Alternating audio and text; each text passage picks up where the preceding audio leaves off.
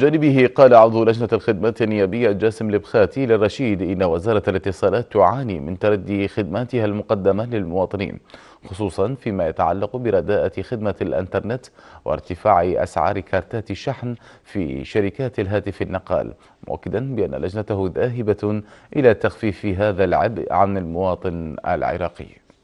نتفق بأن اليوم وزارة الاتصالات يعني هناك إخفاق كبير بعملية تردي آه، يعني الإنترنت وارتفاع أسعار الكارتات اللي تزود آه، بالموبايلات إذا كانت في آسيا أو إذا كانت في زين.